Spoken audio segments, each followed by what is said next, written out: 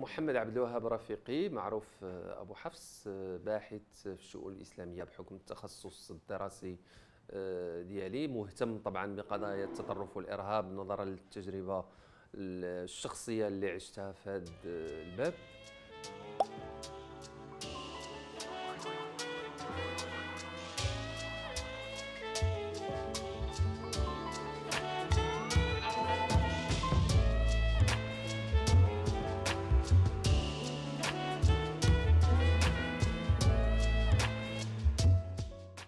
أكيد انه وقع ولكن أنا شخصيا ما عمرني حسيت به. علاش؟ لأنه جا بشكل سلس وجا بشكل آه، طبيعي. بزاف ديال الناس ممكن يقولوا بأن التجربة السجنية كان عندها هي السبب وهذا غير صحيح انطلاقا من اللي عايشته أنا مع نفسي والمعارك والحروب اللي خضتها مع نفسي قبل الآخرين. وإنما هو جاء شكل طبيعي ديال أشكال من أشكال التطور.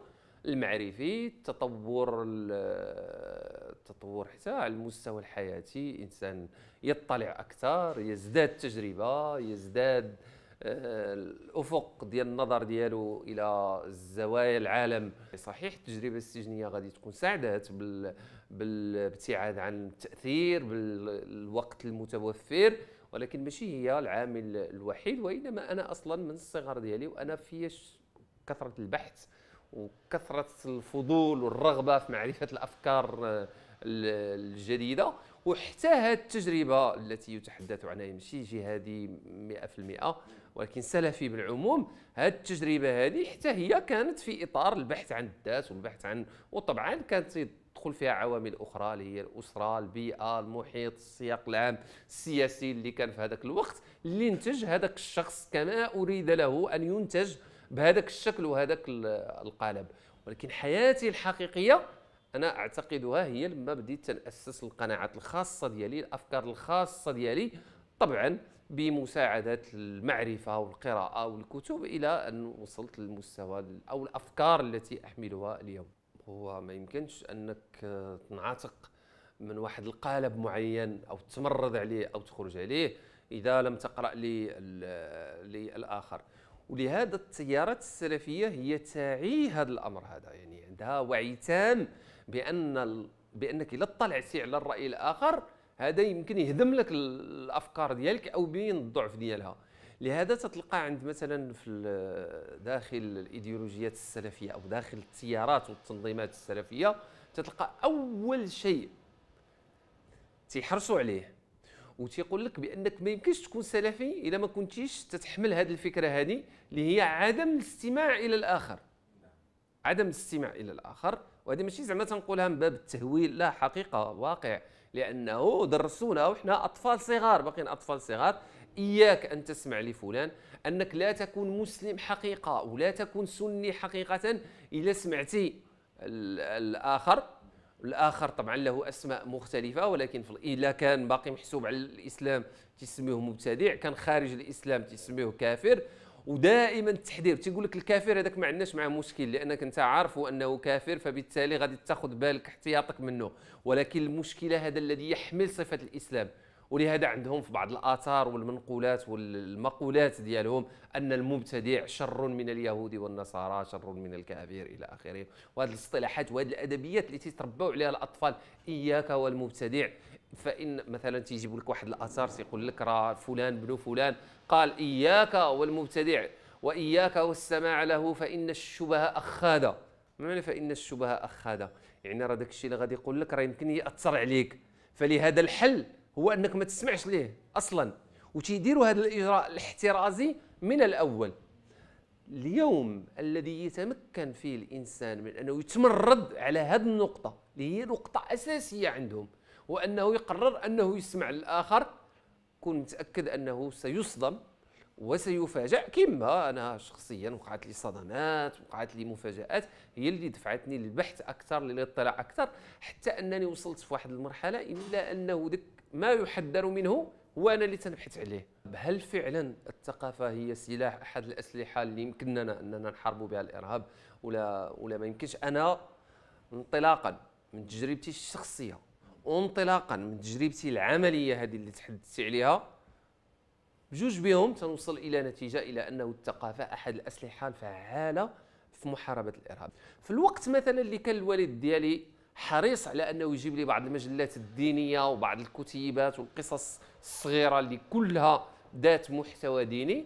الوالدة ديالي ربطات لي واحد العلاقة كبيرة جدا بيني وبين مجلة ماجد اللي كنت عندي الأعداد ديالها بالمئات ولا أكثر اللي وكانت الوالدة ديالي واقفة على هذا الأمر هذا وتتجيب لي صباح الأربعاء تجيب لي ديك المجلة وكأنها آه، مدخلاني الجنة هذاك آه، هذاك النهار.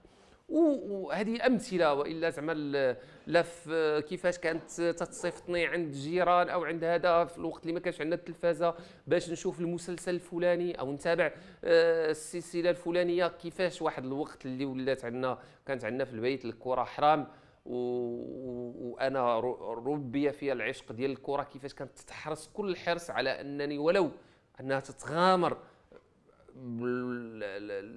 التماسك ديال الأسرة ديالها من أجل أنني نمشي نحضر لواحد المباراة في كرة القدم ولا نحضر واحد الفيلم.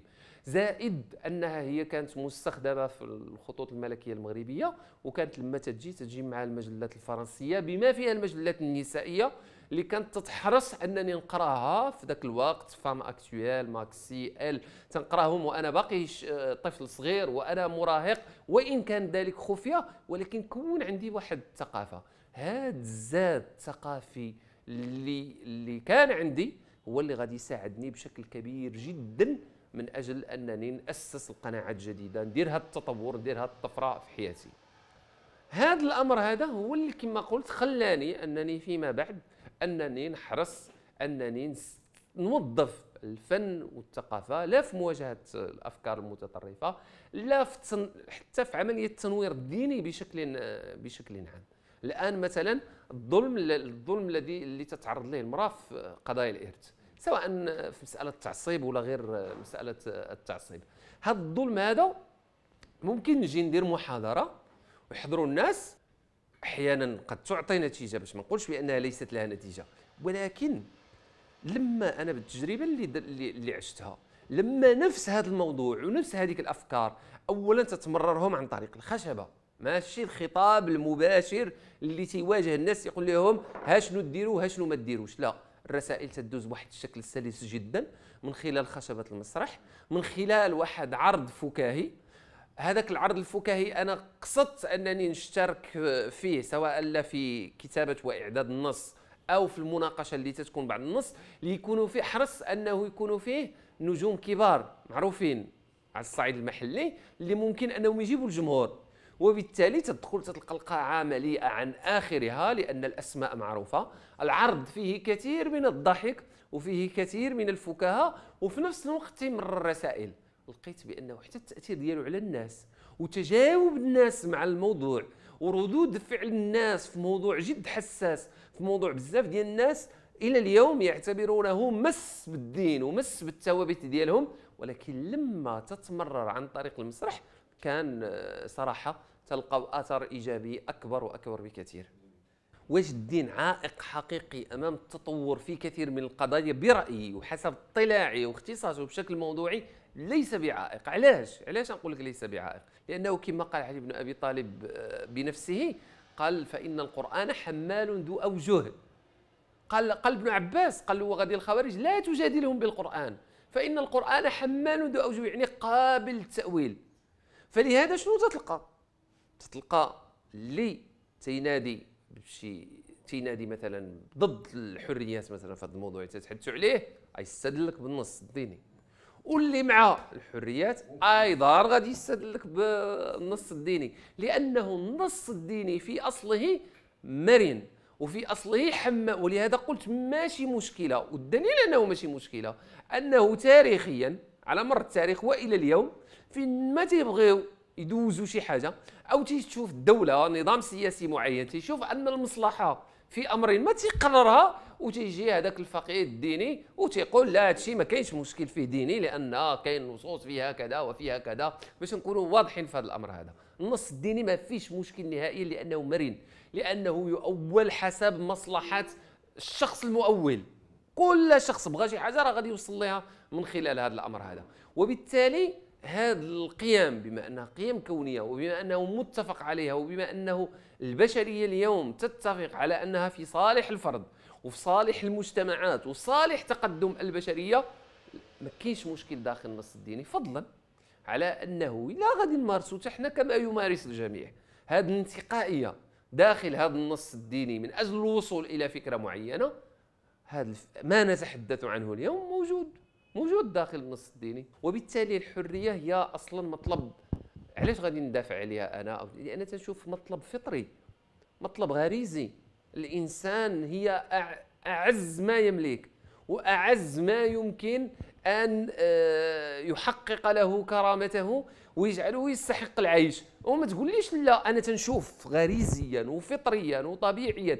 الشعوب بطبيعتها الأفراد بطبيعتهم يتوقون إلى الحرية. الحيوان وتتلقاه يتوق إلى الانعتاق ويتوق إلى الحرية. تجي انت تقول لي لا الدين سيقمع لك هذه الحرية وغادي يحبسك وما غاديش يخلي لك الحرية. هذا غادي غادي يخلي بزاف ديال الناس وهو الواقع أنه ينفر حتى من الدين لأنه تيشوف أن الدين تيقمع له الحرية ديالو تيقمع له طبيعته تيقمع له الفطرة ديالو. وبالتالي نحن آه حنا تندافعوا على واحد الحاجة اللي هي غريزية اللي هي فطرية واللي ما تنشوفوش أن النص الديني أو التدين هو عائق أمام تحقيق هذه الفكرة.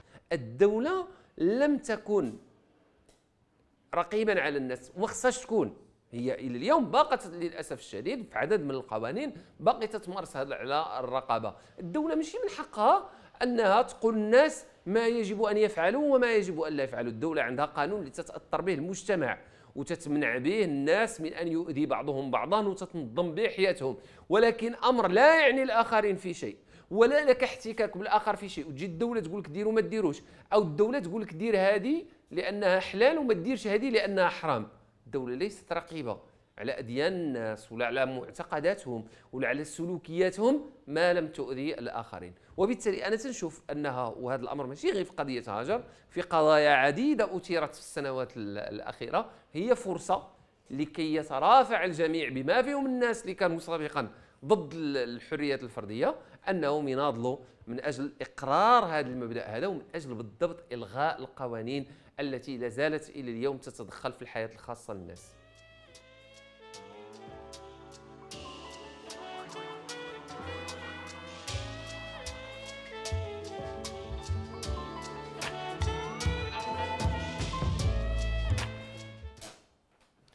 شنو الحاجة اللي ندمتي عليها في حياتك؟ بكل صراحة ما عنديش شي محطات كبرى أو أحداث كبرى يمكن نقول أنني ندمت عليها لأنني تعتبر نفسي أن يوم بديت نأسس الفكر ديالي والقناعات الخاصة ديالي هذاك هو الولادة الجديدة ديالي والحياة الجديدة ديالي. ولكن ممكن نكون ندمت على أحداث بسيطة ممكن ندمت على واحد الكتاب ما قريتوش واحد العرض سينمائي أو مسرحي فاتني واحد مباراة كرة مصيرية كان ممكن أنني نحضرها وما حضرتهاش. هذا أقصى ما يمكن أنني نكون ندمت عليه. شنو الحاجة اللي أنت فخور بها في حياتك؟ هو بكل صراحة أنا فخور بكل المسار ديالي لأنه لولا المسار الذي عشته بكل تقلباته وكل محطاته وكل الأماكن الكثيرة اللي شفتها في العالم ف لو لم تكن كلها ما كنت ما أنا عليه اليوم وبالتالي أنا فخور بالأب ديالي بالأم ديالي بالأسرة ديالي بالمحيط ديالي. بالأصفار اللي تقريبا أكثر من 30 دولة اللي زرتها في في الحياة ديالي. الكتب والمجلات اللي قريتها في الحياة ديالي كل شيء أنا فخور به. شنو هو الحلم ديالك في الحياة؟ الحلم الحقيقي ديالي هو أنني نعيش في واحد الدولة يكون فيها هامش الحرية واسع جدا تكون فيها حقوق الإنسان مصانة تكون فيها كرامة الإنسان آه، متحققة. يكون الإنسان يعبر فيها بكل قناعة وبكل اختيار عما يريده وعما يطلبه تيبان لأن هذا هو الحلم الحقيقي اللي تشتغل عليه واللي تنبغيه شكرا لك. شكرا.